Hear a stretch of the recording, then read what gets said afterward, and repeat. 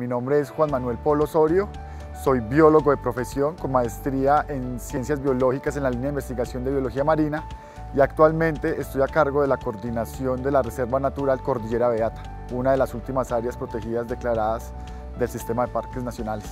Ahorita en septiembre cumpliré los seis años, empecé con, en el área protegida en el santuario de fauna Candí Playón y Playona, como profesional de motor de investigación, también pasé como recursos hidrobiológicos y posteriormente me desempeñé como de, planeación del área protegida. Y desde el año pasado, desde octubre, tengo el cargo de la Reserva Natural Cordillera Beata, que la cual fue declarada el 28 de junio del 2022 y ahorita pues con la Reserva Natural es un área pues remota de 3.312.000 hectáreas, es oceánica en la frontera con República Dominicana. Y bueno, todo un reto para mí como profesional, un reto para parques nacionales y así como para el país para tener un manejo efectivo de estas áreas.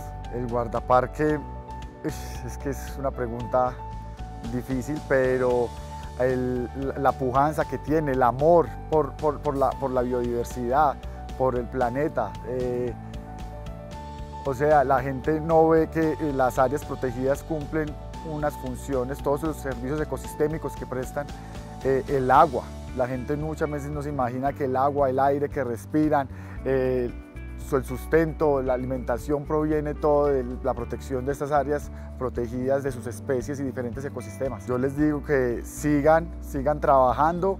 Es un trabajo muy difícil, muy difícil, pero, pero sí les digo eso, o sea, no, no bajar la cabeza.